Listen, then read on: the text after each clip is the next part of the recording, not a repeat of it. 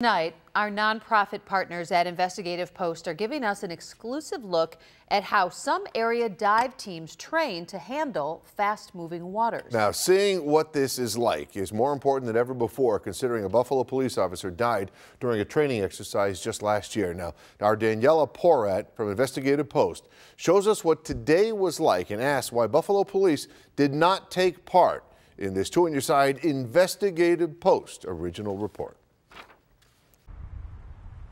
It's been eight months since Officer Craig Lehner drowned in the Niagara River during a training exercise with the Buffalo Police Underwater Recovery Team.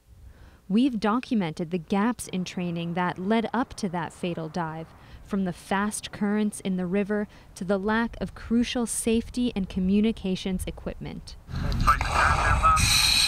Today, we got the chance to see local law enforcement agencies do swiftwater dive training in Tonawanda, some miles downstream on the Niagara River from where Lehner drowned. This was their third day of intensive training.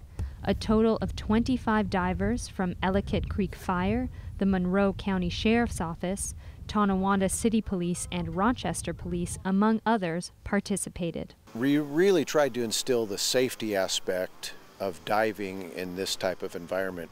Current diving can be extremely dangerous.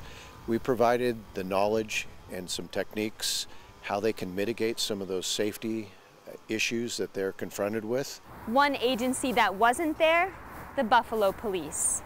I called the department spokesperson to see why the Buffalo Police wasn't participating in this training. I haven't heard back. After a lecture portion of the program on Saturday, the trainees went into the pool at Sweet Home High School.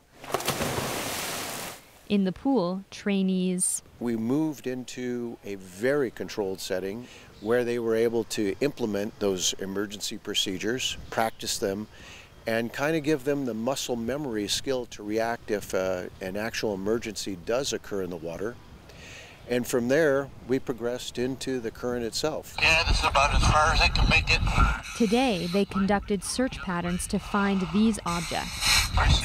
The water in this part of the river is about 20 feet deep and moving at about 4 knots, a safe current to train in. Yesterday, they found a gun.